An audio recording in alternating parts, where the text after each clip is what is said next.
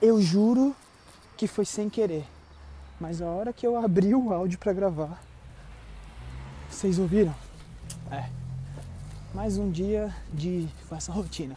Bom, sejam bem-vindos a mais um passeio guiado com Rafa Leixo, podcast, o qual vai ao ar todas as terças-feiras às 10 horas da manhã, com conteúdo onde eu ensino vocês, ou na verdade eu dou dicas, ajudo vocês aí a como melhorar o passeio com os cães de vocês.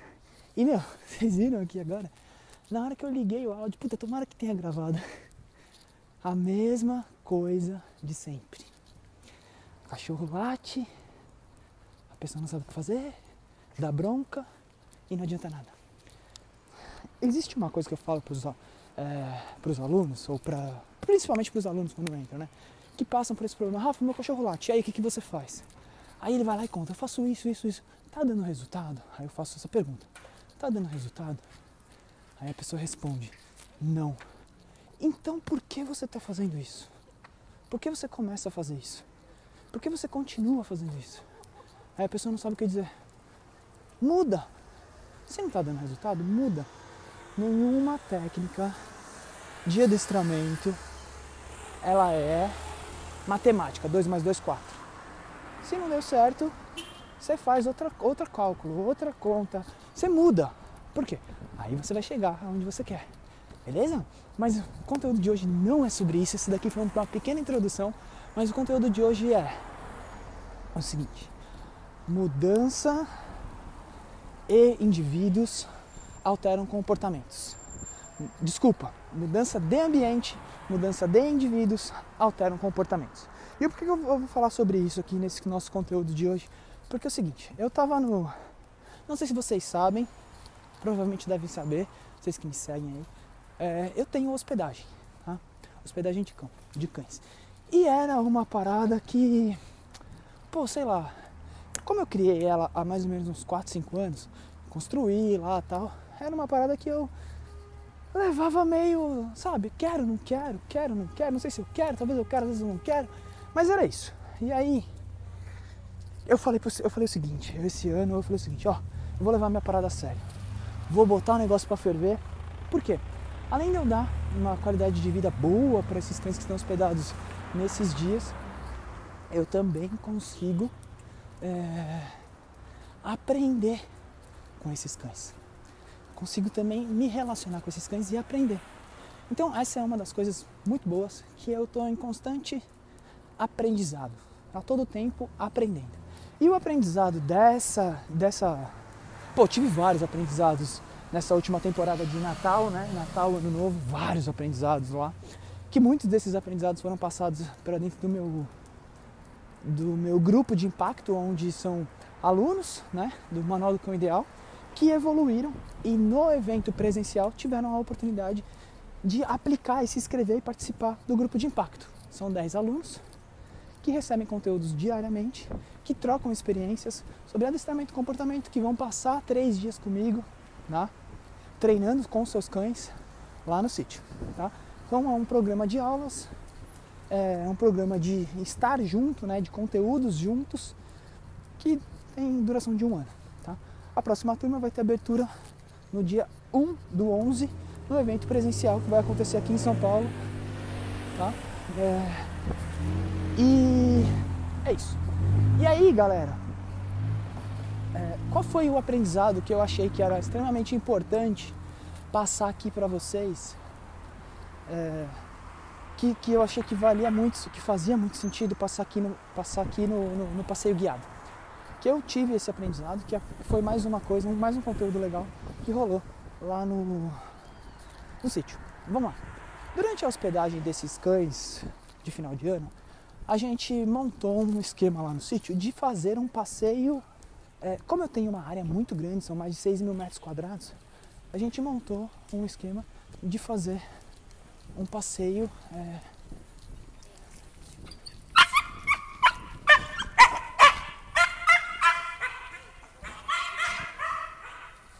sempre que tem um cachorro assim, eu paro, tá, galera? Mas a gente montou um esquema que é o seguinte: a gente faz um passeio dentro do sítio, tá? Um passeio com os cães dentro do sítio. Pra quê? Uma, baixar a energia, manter eles mais cansados e aprender a se relacionar com outros cães. Ai, ai, vidro, ai, vidro, ai, vidro. Vamos, cara. Ah, isso é isso que acontece, viu? Tá passeando, né? Não tem jeito. Aprender a se relacionar com outros cães, né? É, durante esse passeio, né?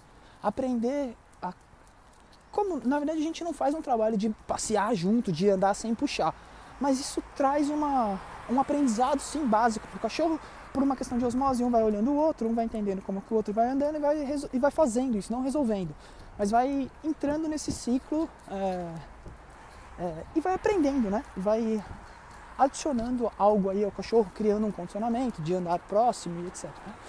E aí, eu vou contar para vocês uma coisa. É, a minha tia, tá? ela tem uma cachorrinha, uma vira-latinha, que ela pegou, adotou, né? E cara, pô, beleza, tá tudo certo. A Bela sempre fica comigo no final do ano lá no sítio. Sempre tá hospedada no final do ano, sempre tá lá é, quando a minha tia vai viajar e tudo mais. E essa vez a Bela foi também, ficou quase 30 dias, a Bela ficou um tempão lá, 20 e poucos dias. E ela chegou lá com uma coceira. Ai, minha tia, a Bela tá com alergia, não sei o que, não sei o que lá, não sei o que lá. Aí eu falei, fica tranquila, leva, leva os medicamentos, a gente vai dar certinho e tudo mais. Eu já meio que já tinha entendido que a Bela não tava com coceira por coceira, por uma questão relativa de doença. Ela já vinha tomando medicamentos há um bom tempo e nada resolvia. Mas, cara, sabe quando a gente já falou, já conversou e não teve um resultado? Então, cara, eu acabo abrindo mão aqui e tal e fico mais na minha. Mas eu já tinha entendido. Vamos, cara. Isso, ó. Vamos, vamos. Mas eu já tinha entendido que o que a Bela tinha era uma falta de gasto de energia que estava levando a ela a um, um transtorno compulsivo. E esse transtorno compulsivo era um transtorno de se auto morder, se lamber e tal. Por quê? Isso faz com que o cachorro fique cansado e tudo mais, tá? Para o cachorro, pra gente não faz sentido, mas para o cachorro faz sentido. Então, falta de é, falta de, de brinquedos mordentes, falta de gasto de energia, falta de enriquecimento ambiental, tudo falta de tudo isso. E por mais que ela seja minha tia, cara, não tem jeito. Se a pessoa não aplica, você lava suas mãos e segue o baile, segue a vida, tá? Então, essa foi uma das, das paradas aí. E aí a Bela é, passou por, por esses dias, ficou lá com a gente, melhorou a coceira. Vamos, Scully. Melhorou a coceira, parou de se coçar. Melhorou. Aí, fazendo esses passeios, né? Que a gente vem fazendo, é, que a gente foi fazendo, né? Passeio guiado dentro do sítio, é, ela melhorou também o passeio dela. Como que eu sei? A minha tia, quando ela foi buscar a Bela, no outro dia foi passear. Aí, nossa, a Bela tá ótima passeando. Não tá puxando, tá andando de boa, tal, e não sei o que, e não sei o que lá. E aí, vamos Isso, muito bom. É, e aí, eu falei, bom, beleza, um ponto positivo, um resultado aqui de um trabalho feito por alguns dias com a gente lá no sítio, que deu resultado. Ok, beleza, vamos que vamos. Aí, ontem, a minha tia me mandou uma mensagem. Acho que a Bela já tá com ela há uns 4, 5, 6 dias. Rafa, a Bela tá estranha. Aí eu falei, perguntei pra ela, como assim a Bela tá estranha? A Bela chegou bem, a Bela tava ótima. Não, a Bela tá estranha. Desde que ela chegou do sítio, ela ela não brinca mais com a gente. Aí eu comecei a fazer perguntas, né? Como assim ela não brinca mais? É, então, antes ela latia, olha as coisas. Antes ela ficava pulando na gente, pulando no nosso colo, fazia isso, fazia aquilo, fazia isso, fazia aquilo. E hoje ela não faz mais. Ela não late mais quando toca a campainha. Ela não. Mas vamos lá, desculpa aí, gente, a pausa. Tive um. Encontrei um amigo e aí a gente conversou, trocou ideia aqui, tá? Mas então vamos lá, voltando. A Bela tá estranha. Rafa, a Bela tá estranha, a Bela tá estranha. A Bela tá estranha, a Bela tá estranha. E aí eu. Como assim a Bela tá estranha? Vem, Scully, vamos. Como assim a Bela tá estranha? O que, que tá acontecendo com ela tal, né? É... O que, que ela tem, né? O que, que tá acontecendo? Então, aí ela, a Bela parou de pular. Aí ela. A Bela tá deitada na caminha dela. Não tá mais querendo deitar no sofá. A Bela não brinca, não brinca mais de morder. A Bela não brinca mais de morder. E a Bela.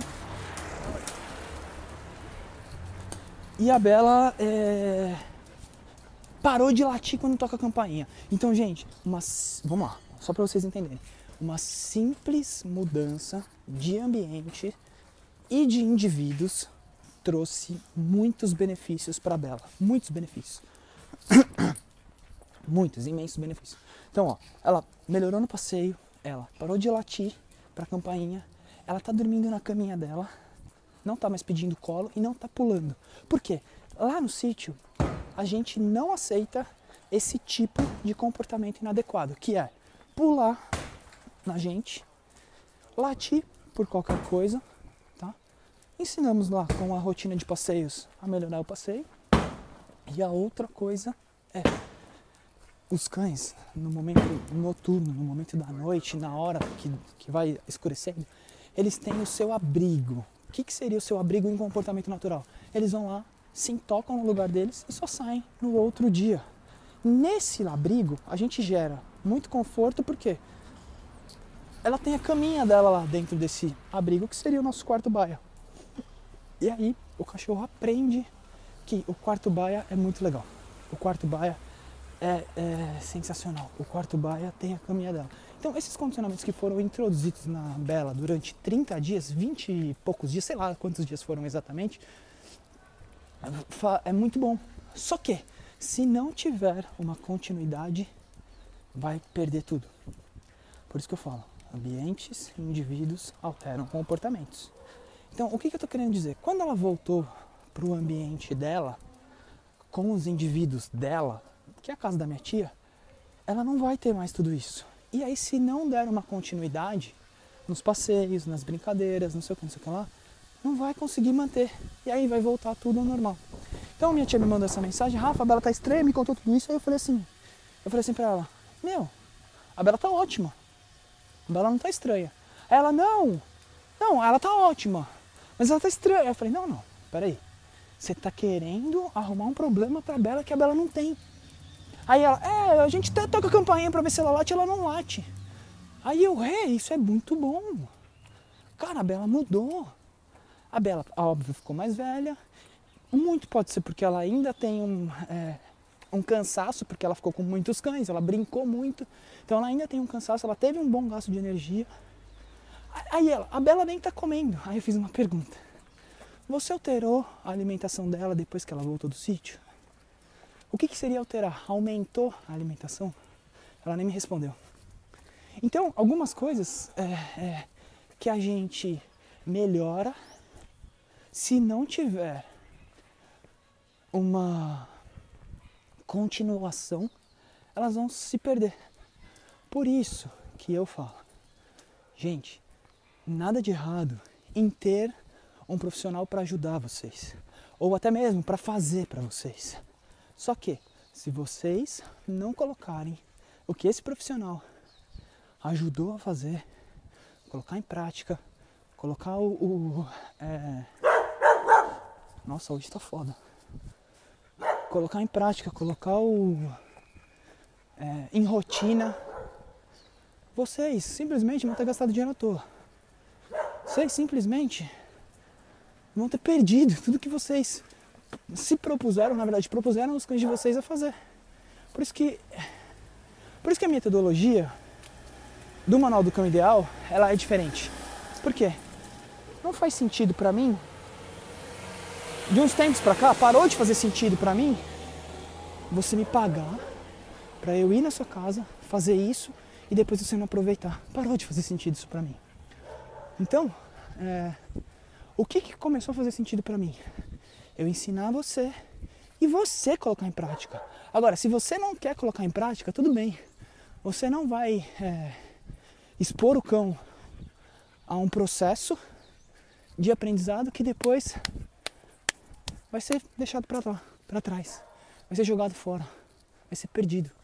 Se você ensinar ele, você vai ver o quanto é prazeroso, o quanto é gostoso, e aí você vai manter esse processo. Você vai manter esse condicionamento. Caso contrário, não. Ufa, uma subidona. E uma moto. Bom, é, esse foi mais um. Nossa, me pegou essa subida agora. Falando, né, Scotty? Esse foi mais um passeio guiado com Rafa Leixo. E eu acredito que eu ajudei você bastante nesse passeio guiado. Se você gostou dele, entra no meu Telegram, entra no meu Instagram, desculpa, e me manda uma mensagem, um direct. Rafa, gostei muito do passeio guiado, foi muito legal. Tá? Me manda, escreve alguma coisa. E se você não gostou, também vai lá e me xinga, fala, puta que bosta, só falou merda. fala alguma coisa, me manda uma mensagem no direct do Instagram que eu consigo ver, tá? É, e outra coisa, se você quer participar de um conteúdo mais denso, uma relação meio que diária comigo lá, de áudios, vídeos, fotos e receber todo o conteúdo que eu posto em todas as minhas mídias sociais, se liga aí: Facebook, Instagram, YouTube, Twitter, Telegram, TikTok e via e-mail. Quer receber tudo isso num único lugar? Eu criei um canal de conteúdo no Telegram, tá? Você vai lá no meu direct do Instagram, me manda uma mensagem só assim, eu quero, hashtag eu quero, que eu sei, que eu vou te responder só com o link, para você entrar e não perder tempo. Beleza? Bom, é... então é isso. A gente se vê, se ouve na verdade, no próximo passeio guiado, na terça-feira que vem, às 10 horas da manhã. Eu fico por aqui. E fui!